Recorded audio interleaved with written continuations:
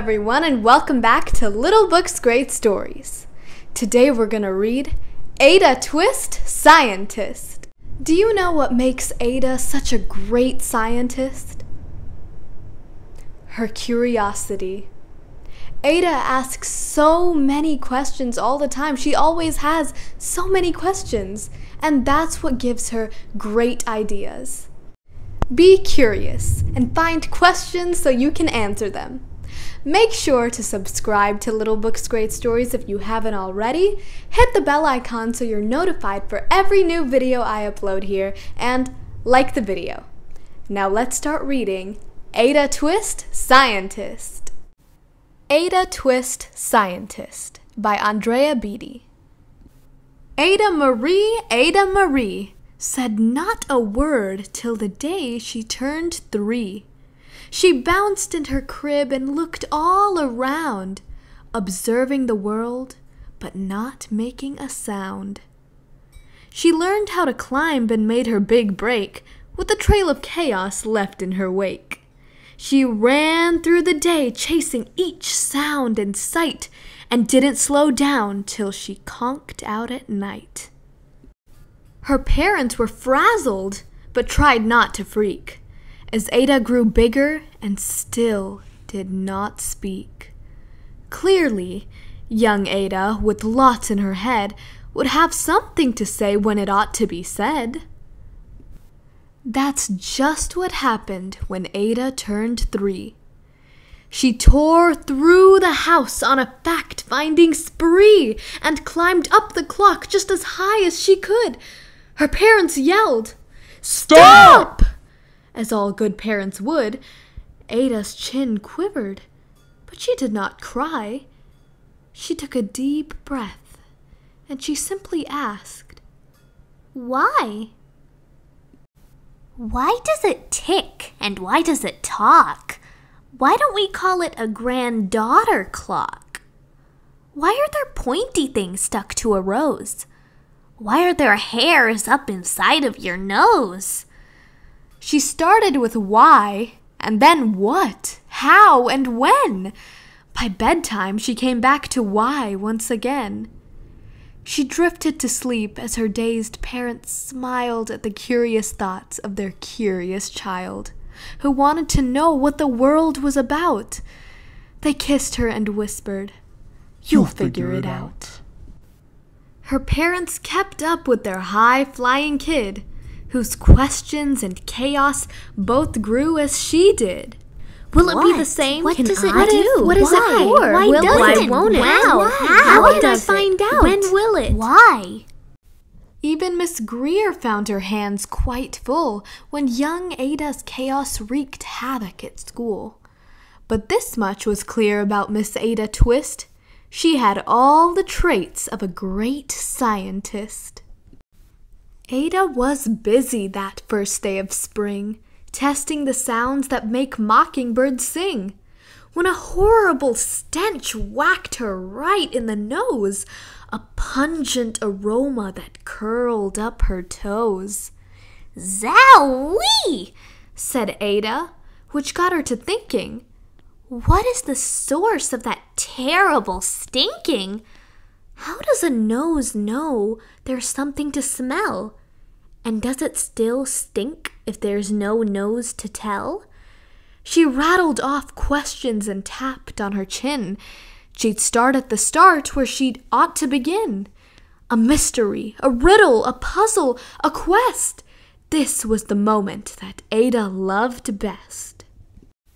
Ada did research to learn all she could of smelling and smells, both the stinky and good. One hypothesis Ada thought could be true. The terrible stink came from Dad's cabbage stew. She tested and tested, but soon Ada knew. It was time to come up with hypothesis two. Then zowie! The stink struck again, just like that. Hypothesis two. It's caused by the cat. The cat couldn't make such a stink on its own. It needed perfume and some fancy cologne. So young Ada tested. The test was a flop. She started again, but her parents yelled, Stop! Ada Marie! Ada Marie! To the thinking chair, now! By the time we count three. Enough! said her mother. That's it! said her dad. Her parents were frustrated, frazzled, and mad. Why? Ada questioned. Her mother said, No! What? Ada queried. Her father said, Go!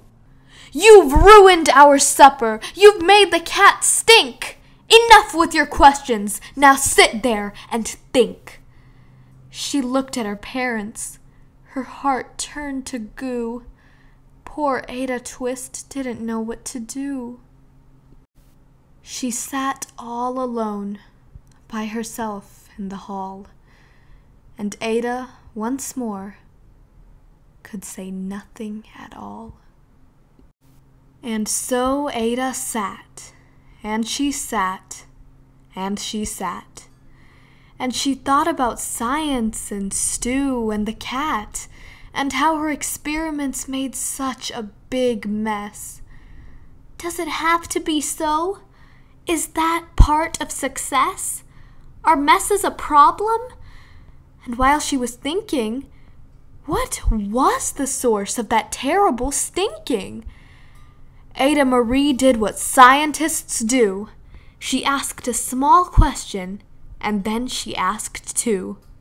And each of those led her to three questions more, and some of those questions resulted in four. So Ada got thinking. She really dug in. She scribbled her questions and tapped on her chin.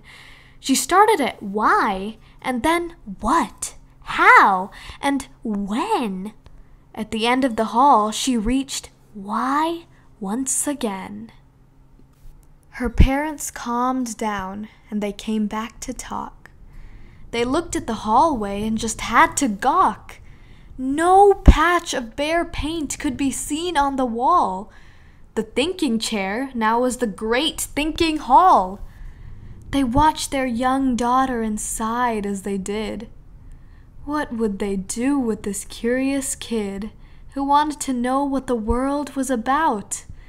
They smiled and whispered, We'll, We'll figure, it out. And that's what they did, because that's what you do when your kid has a passion and heart that is true. They remade their world. Now they're all in the act of helping young Ada sort fiction from fact. She asks lots of questions. How could she resist? It's all in the heart of a young scientist.